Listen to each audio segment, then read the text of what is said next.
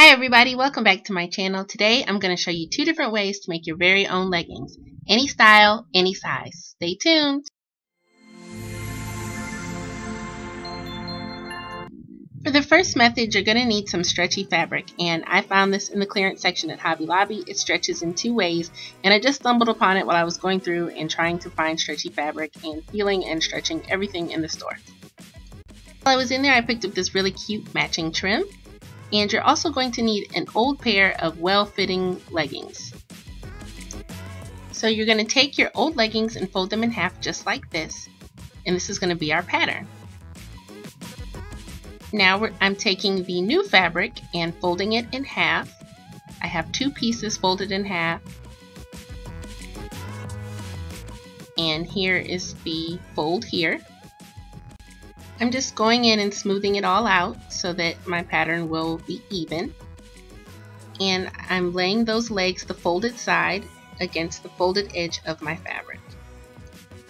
When laying down your pattern, you want to make sure that the stretchiest part is the part that's going to wrap around your thigh. So you want the stretchiest part to be along the width of the leggings and not the length. Once you've got it set up, you're just going to trace around your pattern, leaving just a teeny bit for a seam allowance.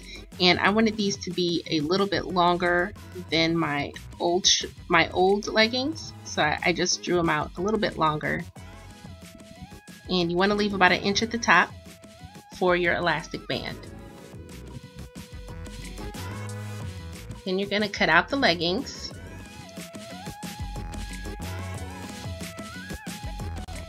So this is what you should have now. You should have two pieces.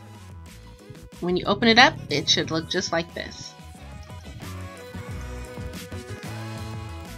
Now you want to make sure you put the right sides of the fabric together. And we're just going to sew along the crotch. So I'm pinning it off right here. And I used a serger, but you don't have to use a serger. You can just use a regular sewing machine. This fabric doesn't fray. I will leave the exact type of fabric this is in the description box below. So now that we have the two seams sewn in the crotch area, we're going to flip it open and ta-da! We've got two legs.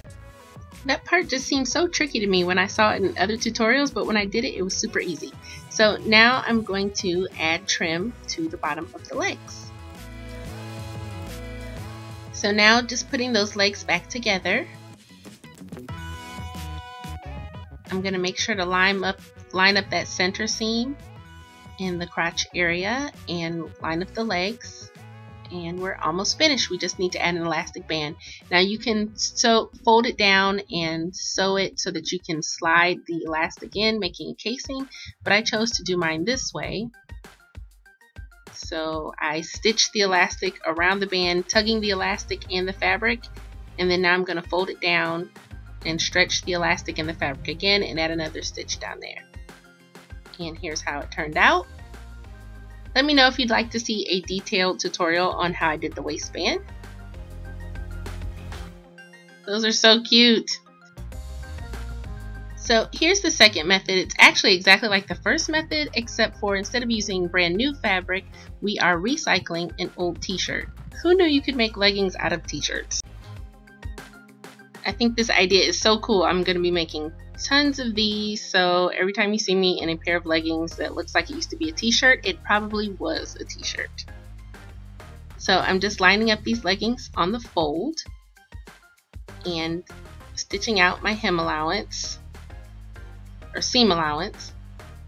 The reason I said hem is because I'm thinking about hems because the cool thing about doing leggings like this on a t-shirt is that you don't have to put a hem at the knee right there or at the bottom of the legging because the t-shirt already has a hem in it.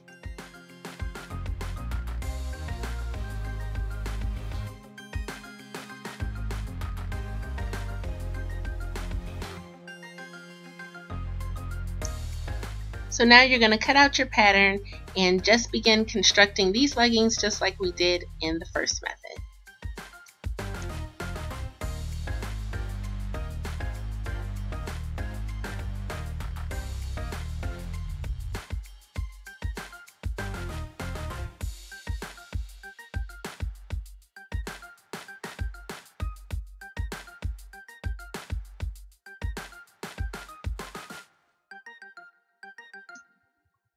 So I added an elastic band just like I did in the other pair of leggings. And I also cut up one of my husband's t-shirts while he was at work and I made a pair for myself too. So here's how our leggings came out. Let me know if you're going to try this in the comment section below. And thanks so much for watching. Bye!